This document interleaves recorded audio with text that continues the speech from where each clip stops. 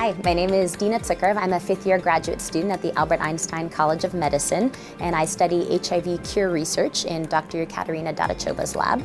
This is my friend Michael Beckert, who's a neuroscience graduate student and also a wonderful artist who'll be helping me make some animations and visualizations to make my research more accessible to a non-scientific audience. I went into engineering as an undergraduate because I always like to fix things and solve problems and figure out how things work. I was really just trying to make sense of the world around me. I also liked math a lot. I'm a geek, uh, so I, I, found it nice to be able to answer my questions with mathematics. And I loved engineering, but it was much more fun to be able to apply it to real living things and see how a lot of the same principles that were true in the more rigid world were also true in the, the fluidity of, of how our body and tissue and blood all function together. The reason I decided to come to Einstein was because it had expertise in a lot of the diseases I was most interested in. I like infectious disease, this idea of battling against something from the outside, and Einstein has an extremely strong research group in TB as well as HIV and malaria, and so I wanted to try out all three of those labs to see which I wanted to focus on. The development of antiretroviral drugs against HIV was probably one of the biggest medical successes of the last century and allowed HIV positive patients to live much longer. But antiretroviral drugs, also called ART, can't kill cells that are already infected with HIV. What they can do is protect healthy cells from becoming infected. They do this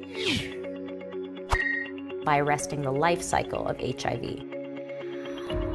So a population of infected cells continues to persist in the patient's body. There are reservoirs of infected cells hiding in the blood and in areas like the gut and the brain where the antiviral drugs can't penetrate, and so the disease continues to progress. The opposite side of the coin is that now that we have people living longer, we're starting to see all these problems with uh, HIV-associated dementia and Alzheimer's and cancer and the, these really long-term diseases. It's become clear that we need something to actually kill the virus, to, to eradicate it, and not just suppress the infection in the body. Why is this significant? In order to target this problem of infected cells persisting in the body, my lab turned to a technique called radioimmunotherapy, RIT, which has been used extensively for cancer, but no one's ever tried to use it for infectious disease. So we're the, the first lab trying to put this to work. RIT is basically an antibody, which targets things, attached to a radioisotope, which kills things. So together, you have a guided missile that moves through the body looking for infected cells. RIT passes by healthy cells and stops when it sees infected cells that are studded with an HIV protein called GP41. When the antibody binds, the attached radioisotope irradiates the cell,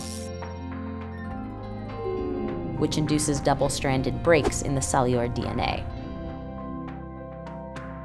When the cell detects that its DNA is damaged, it programs itself to self-destruct to protect the rest of the body.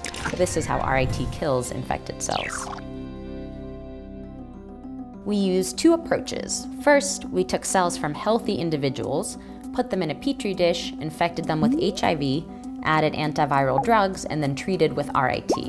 The second approach was done in collaboration with the Montefiore Center for Positive Living, led by Dr. Barry Zingman. We took cells from the blood of HIV positive individuals in the Bronx who are already taking ART drugs. We wanted to see what would happen if we treated these cells with RIT.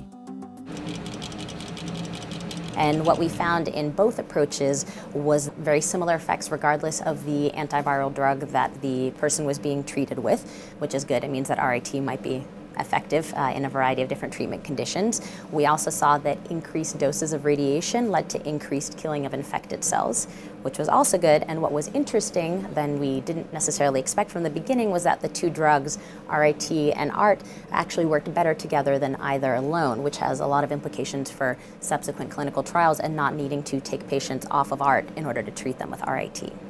The current results are, are strong, they're really exciting, but because HIV is considered a chronic disease, especially in America because infected people can live for so long, before you can really test this in, in people, you usually have to go through another stage of animal models. So our next step is going to be moving into, hopefully, animal trials. We can all get together and discuss who likes which project. Kate is a wonderful mentor. She's fairly hands-on, so I, I bother her, I don't know, several times a week to several times a day with questions about my experiment, showing her data, asking her her opinion. It's really nice to have a, a PI who can really advise you on lab technique as well as just the overall theory of what you're doing. I personally like having a, a, PI who's available because a lot of times I feel like you spend weeks troubleshooting something that maybe if you had a, a, comfortable relationship and you could ask, you could get an answer in 20 seconds and move more quickly through your work. Uh, and, and I find I have a lot of quick questions that Kate is able to advise me on.